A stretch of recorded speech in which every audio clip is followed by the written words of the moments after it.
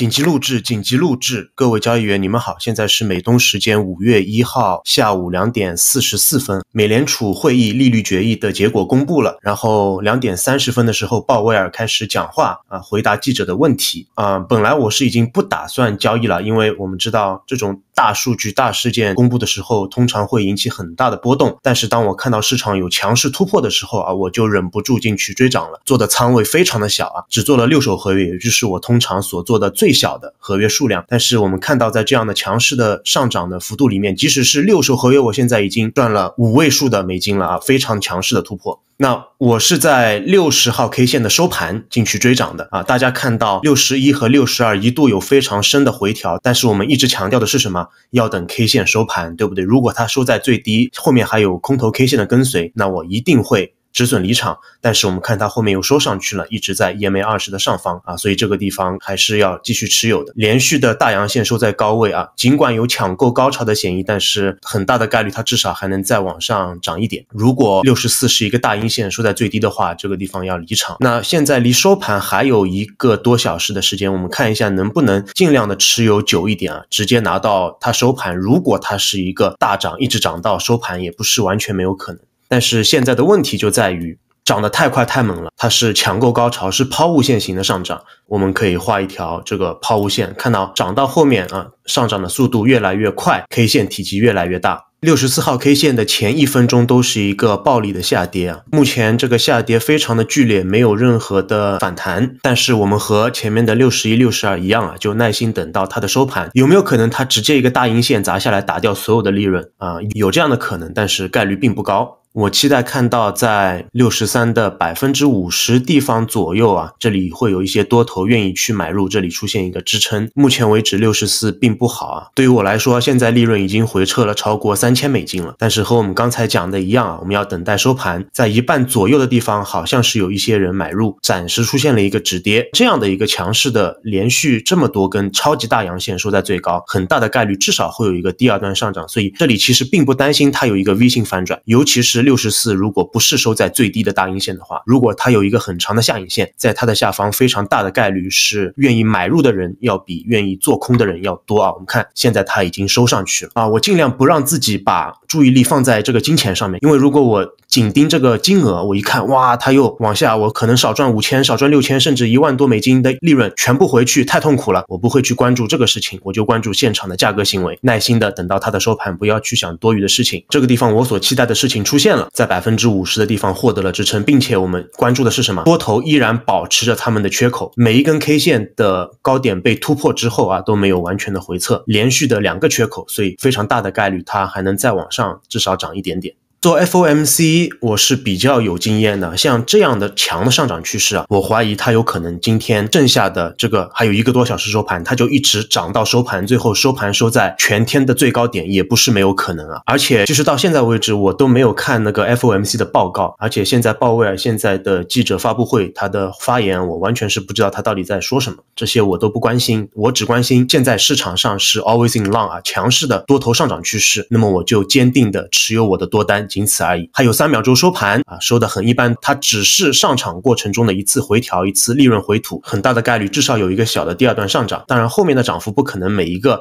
都像这个一样，对不对？都是二十个点的这个大的 K 线啊，后面它可能会变成一个 spike and channel 啊，就是通道型的上涨，一下回调一点点，涨一下回调一点点。我是在六十号 K 线的收盘入场的，大家看到这个是券商的箭头，在前面我没有任何的操作，没有任何的开仓啊，就是耐心等待 FOMC 结果出来以后，有了明确的强势的突破。再去入场操作，六十五号 K 线目前一般般，但是不差啊，因为它没有任何的下影线，这个代表什么？六十四号 K 线一收盘，所有的人都去买入啊，它甚至跳空高开了一个 tick，突破了前面两根 K 线的高点，又被卖了下来，可能是有一部分多头在止盈啊，我不认为这里会有什么空头去入场做空啊，在这么强的一个上涨趋势里面去左侧做空逢高加仓，我觉得是一件不理智的事情。不管他认为现在的基本面怎么样，不管他认为美联储的货币政策怎么样，六十五还有一分半左右收盘啊，最好它的收盘要收在前面这些 K 线的高点上方，就会更加的好一些啊啊，因为现在这个行情啊比较的紧张刺激，幅度也很大，所以我们。暂时就先看盘面，等到啊这个收盘之后，我会来讲一下今天早晨包括前两天的行情，我们做一个简单的复盘。最近几天我也是并没有特别多的交易，因为我知道今天是 FOMC 啊，本来今天也不打算怎么做交易了，看到这个上涨实在是太厉害了啊，不想去错过这一波行情。用小仓位去做一做，现在非常不错。还有十秒钟，看来又是一个阳线收在一半以上往上突破，非常漂亮啊！直接又是大阳线收在最高啊，加大了更多人愿意去买入的可能。可不可以在六十五的收盘买入追涨？可以，止损放的比较大。如果在六十五的收盘开仓做多，把止损放在六十四最低点下方，我们看冒的风险超过二十个点。所以你说我如果赚五个点就跑啊？但是你的风险是二十个点，需要至少百分之八十多以上的胜率才能够保证稳定盈利。对于大部分交易者来说是一件比较困难的事情。所以这里要做一定是做波段啊，至少去拿十个点甚至二十个点，一个一比一的盈亏。但是这个大止损放在那边，并不一定说要被完全达到。比如说六十六是大阴线收在最低，可以直接在它下方一个 tick。啊，止损离场，可能最后只是亏五六个点，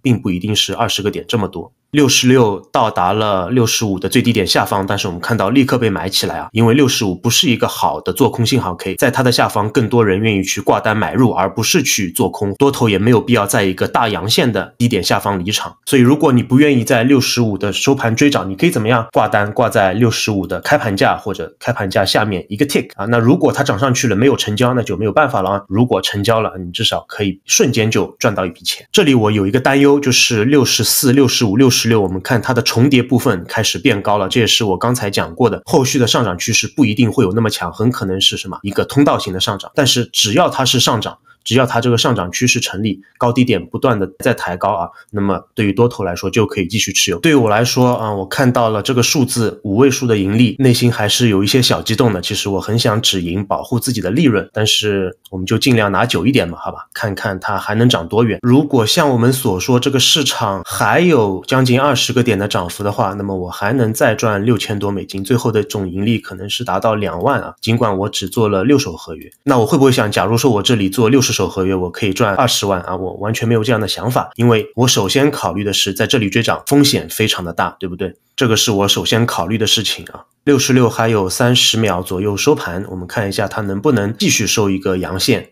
好的，最后又是一个阳线收在最高，然后我们看到它一收盘就立刻被买上去啊！为什么我们说它的收盘这么重要？它收在最高说明什么？说明前面不管你在哪里买入的多头，就算你是在六十五的收盘去追涨的，你在六十六的收盘也是赚钱的。看到所有的多头都在赚钱，会有更加多的人愿意去买入，对吧？因为前面在买的都赚钱了，我也要去买。这个就是所谓的赚钱效应。不知道大家从我今天的语气中能不能听到一些和平时稍微有点不一样的东西啊？就是平时啊，我可能有时候解说的时候有一些激动啊什么的，那个更多是为了节目效果啊，就是或者是为了让自己交易的时候能够更加轻松一点啊。但是今天的这个金额是比较大的。我们平时说 trade small enough, trade I don't care size，用自己并不在乎的金额去交易啊，对我来说可能是三千五千，我并不那么的在乎。但是，一旦它到了一万多美金，甚至接近两万美金的。的时候，我也会紧张，也会有一些压力。那这个地方如果它有一个大的回撤，你要想一下，这么大的波动，一下子我就要损失好几千美金的，肯定是情绪上也会有影响。我并不希望这样的事情发生。非常深的回调啊，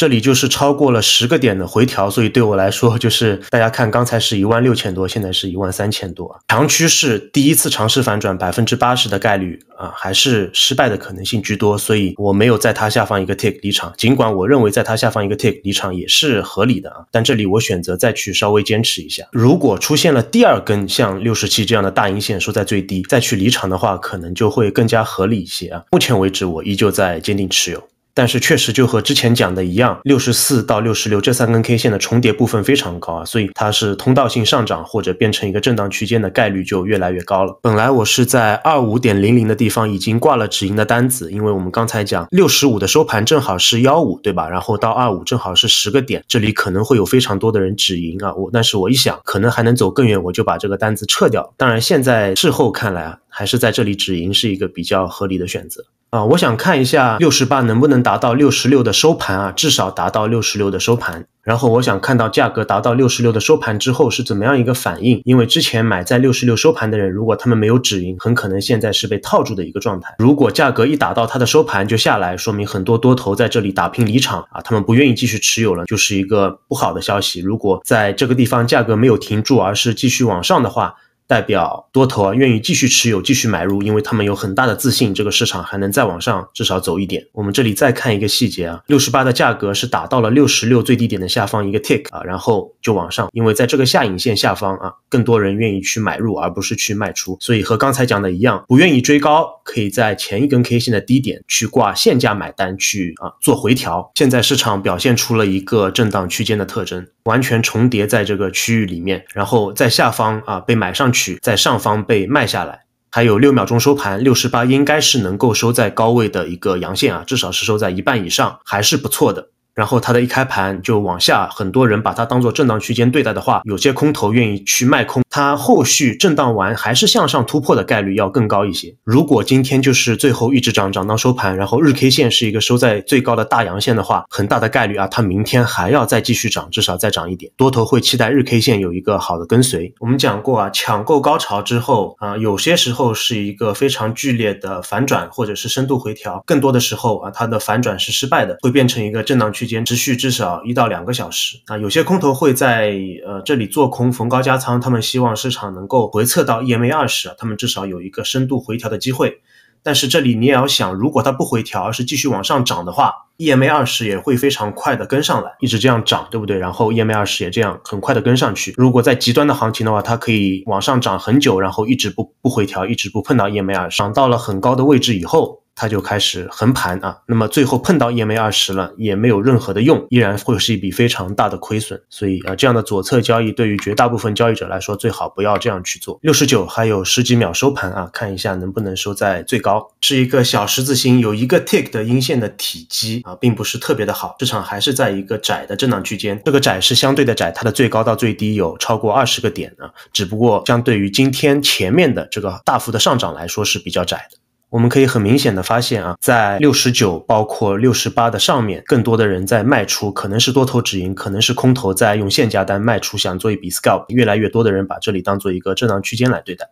啊，不知不觉啊，已经来到了第七十根 K 线，还有八根 K 线，我们常规时间的交易就要收盘了，希望啊可以在这里再多涨一点。在七十二之后，我并不愿意去做特别多的交易，因为尾盘最后半个小时可能会发生很多奇怪的行情啊，它随时可能，比如说前面像我一样追涨的多头赚了非常多的钱，他们要在收盘结束之前啊，在尾盘止盈离场，那么他们的止盈就会导致市场出现一个大幅的回撤。如果多头不赶紧再往上的话，我要考虑先止盈再说了，因为尾盘往往会有一个非常大的回撤的风险。好，最后我是在七十的收盘啊，全部止盈离场了，因为它又是一个大阴线收在最低。我们刚才说了，第一次尝试去反转失败，第二次尝试反转就有可能成功啊。我这里离场的非常的及时，呃，如果不离场的话，现在很糟糕啊。就像我刚才讲的，可能在收盘前会有非常多的多头止盈。那这里到底只是一次小回调，还是一次大的回调，甚至反转啊？我认为它还是小回调的概率。比较高一点，只不过我自己不愿意再去冒这么大的风险了。我觉得先止盈离场会比较好一点。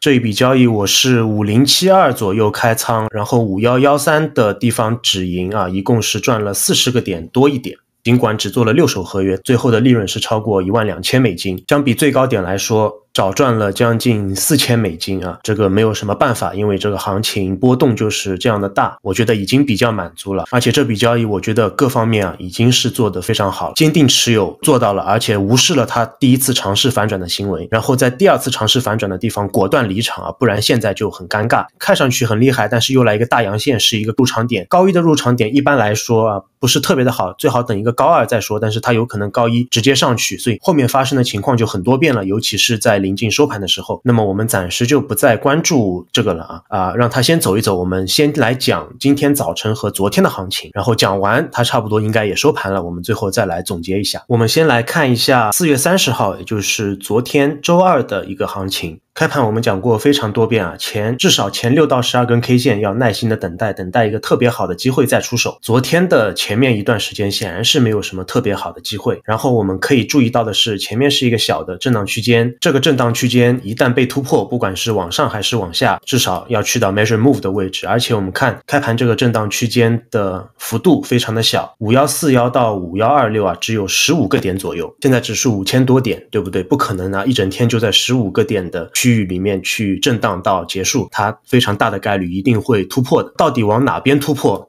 我们的 EMA 二十就展现出了作用啊！你们看，清晰的看到啊，尽管有那么一两根 K 线，它尝试收盘收在 EMA 二十，但是我们一直说的是什么？突破需要跟随，它刚突破上去啊，就一下就没有后续了，跟随很差，那么显然它是不成功的。所以如果要追涨的话，不应该直接在它的收盘去追涨，最好再等一根 K 线啊。啊，我是完全没有想到七十一这样跌下去以后，立刻又收上去，上去没多久又立刻下来，震荡区间的特征不值得去做任何的交易啊，还是避免掉就好。那对于我来说，我是在七十的收盘离场的，我会不会感到惋惜？哎呀，蛮好，再等一等啊，不会这样子，因为你不知道它最后会收上来，它有可能直接就这样下去了。做最合理的选择，我们所需要考虑的是长期交易的结果，做一百次、一千次，百分之八十的情况，在第二次尝试反转的地方需要去离场，保护自己的利润，这个是最重要的啊。百分之八十的时候不会错，百分之二十的时候会怎么样？这个不是我们需要关心的事情，因为没有任何事情是百分之百的啊，总有意外情况会发生，总有小概率情况会发生。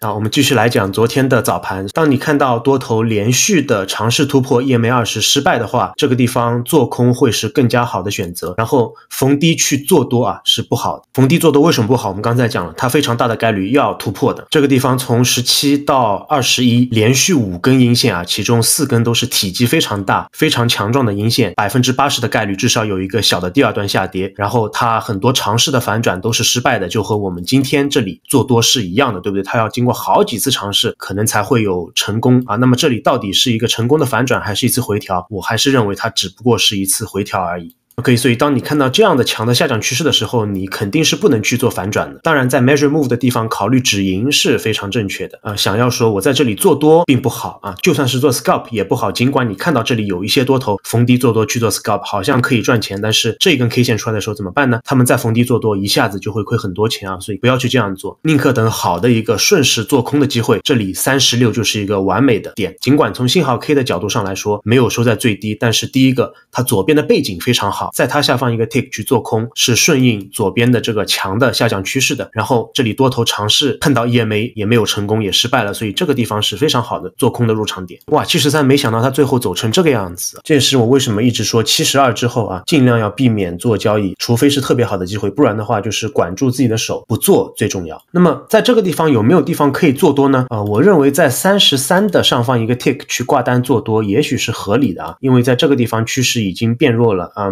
有一定的概率。会反转成功，但是这个概率并不高，对吧？因为左边这五根大阴线的关系，这样子跌下来，毫无疑问是 always in short 啊。但是 always in short 不代表它不会有反弹，不代表它就会很快的无限制的这样跌下去。在很低的位置地方，空头往往不愿意去继续追空了，而是开始止盈，包括有多头开始逢低买入做 scalp，就会出现这样的震荡区间。和我们前面看到这个地方的震荡区间是一回事情啊，在这么高的地方，多头不愿意再去追涨，然后没有止盈的多头呢，随着这个一根一根大阴线往下砸，他们放弃的越来越多，所以就会出现这样的深度回调。如果这个样子的话，今天日 K 线会留下一个长长的上影线，现在我估计它已经接近整个上涨幅度的百分之五十的回调了，正好在百分之五十回调的地方。但是由于啊前面的这个大阴线下来的话，百分之五十也不一定拦得住啊。没有，就是如果是我的话，我不可能在这个百分之五十的地方挂单做多的。你面临的是这样快速的跌下来，在这个地方买入的话，反正我是不敢的，我没有这个胆量去做。连续几根大阴线之后啊，变成一个震荡区间或者变成一个宽通道，然后出现了特别好的大阳线收在高位，最好是收在这个 EMA 二十的上方，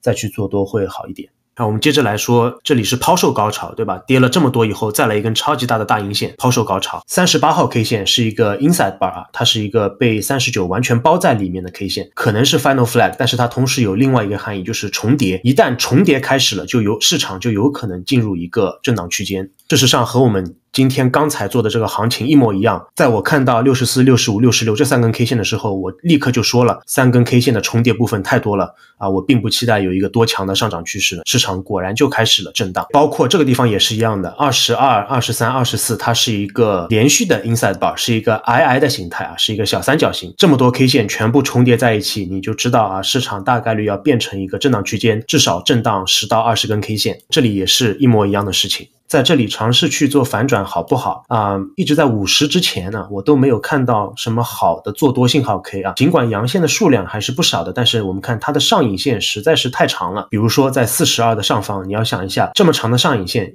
有多少人愿意在这个上影线上方去用 buy stop 追涨？是不多的，对不对？更多空头等着在三十八的高点去做空，它的突破是失败的。那么五十是比较好的，但是它离 EMA 二十又太过接近了。尽管我是认为它至少有一个比较幅度大的反弹，甚至有可能是反转，但是我一直找不到一个特别好的入场的机会。五十三非常好的大阳线收在最高，而且整个 K 线的体积都在 EMA 二十上方，甚至它和均线之间有一个小的缺口没有碰到啊，所以是非常好的突破。大概率会至少再往上涨一点，但是到底是只涨一点还是涨很多，这个确实没有办法判断。我当时是这样打算的：如果五十四是一个好的跟随，就是如果它是一个小阳线或者是一个小十字星的话，那么我会追涨。但是五十四本身它是一个带有阴线实体部分的一个十字星，它就不好，不是一个好的跟随啊，我就没有去操作。如果直接在五十三的收盘去做多啊，当然也是合理的。只不过当你看到五十六、五十七出现的时候，最好还是先离场止损啊。这里对于空头来说是一个非常好的双顶，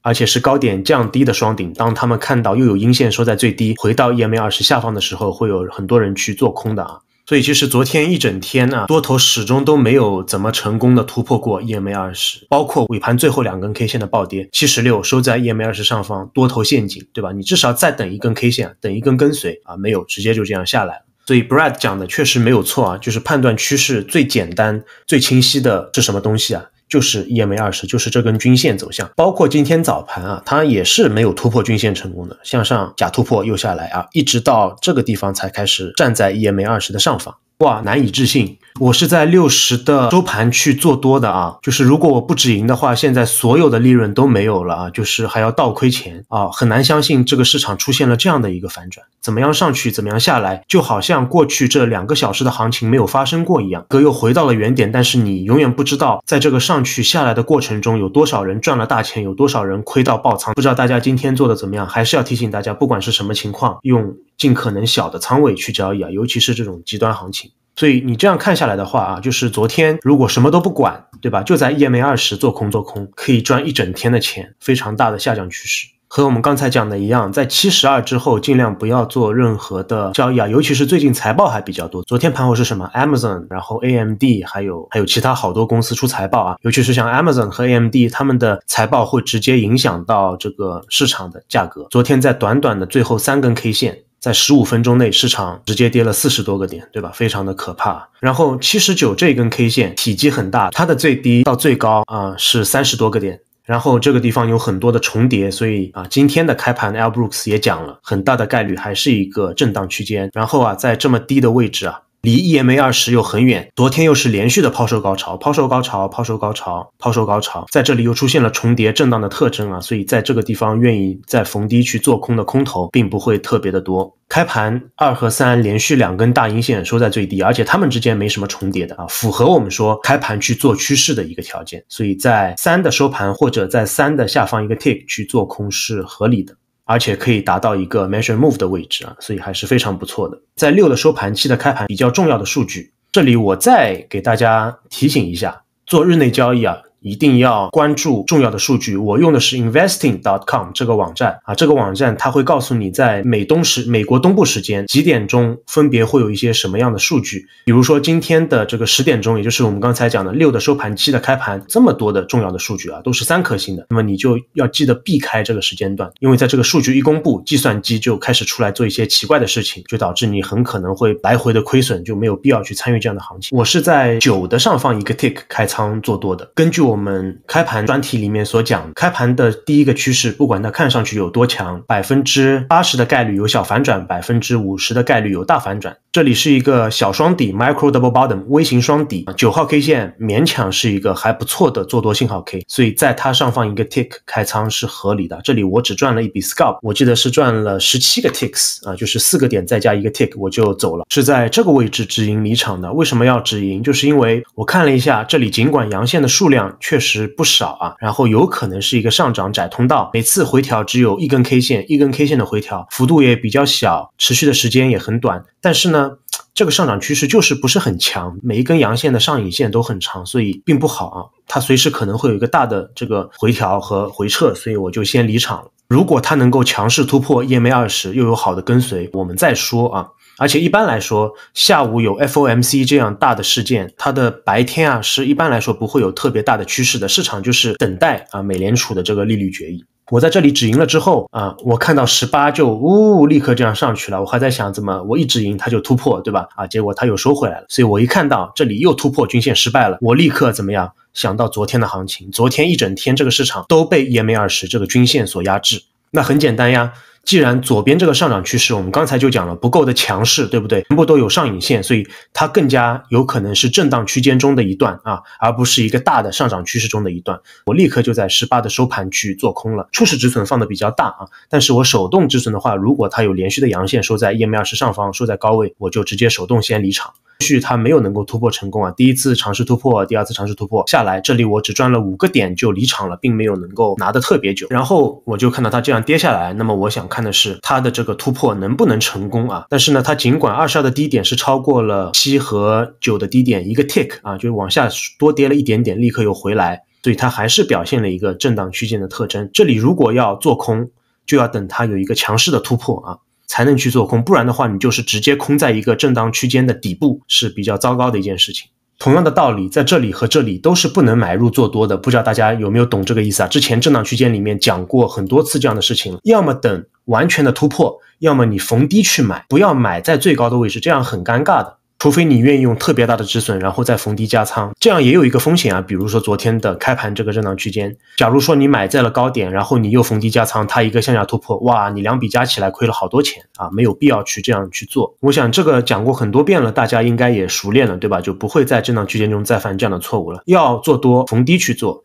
要做空逢高去做空，那后续的行情其实也没有太多可以讲的，就是一直震荡。五十五号 K 线，它的时间就是美东时间两点钟啊，就是利率决议公布的那个一瞬间，在数据刚刚公布的时候，我们知道它会有一些大的波动，而且往往是来回反转，这个时候去参与市场是不明智的，最好等几根 K 线，等尘埃落定了以后啊，我们再去做会更好。所以我是等到六十啊这个大阳线出现的时候才去做的。哇，我的天呐！啊，难以置信啊！这个市场七十七又是一个大阴线收在最低，直接回到了数据前的起点啊，直接回来了。这个今天的行情就像过山车一样啊，潇洒走一回。就像什么事都没有发生过。离常规时间收盘还有四分钟左右，我们来切换 SPY 的日 K 线看一看啊，看样子是一个十字星啊，甚至可能带一点阴线的实体部分，然后收在比较低的位置，对于多头来说是不好的。这里我不知道大家能不能发现，如果我们把它换成一小时 K 线的话，前段时间这个市场大跌大涨，大跌大涨，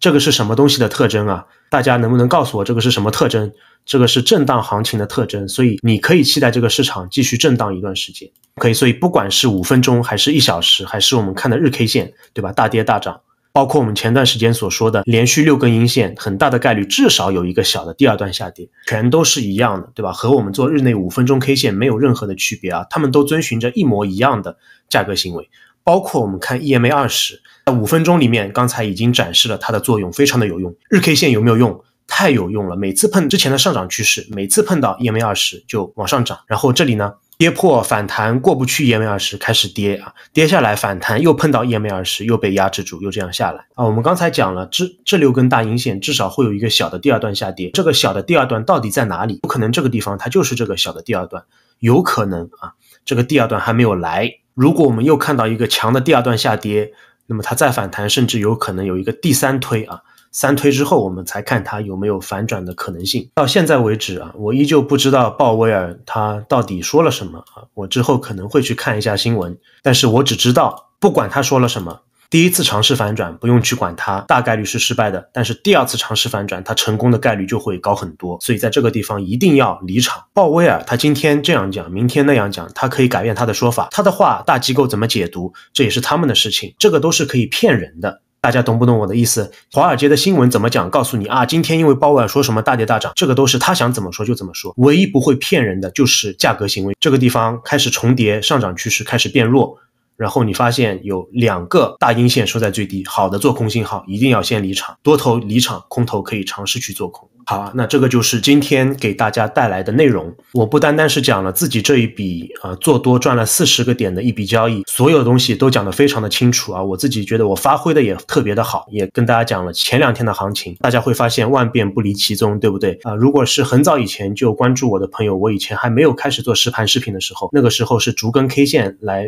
回放来复盘，讲的东西也都是一模一样的。其实说来说去就那么几句话，然后运用到实盘交易中，这个需要大家自己去做大量量。的学习还有复盘的工作，然后用小仓位大量的练习。好，今天的边做边讲就先到这里，希望我的分享对大家有帮助。我们下一期视频再见，拜拜。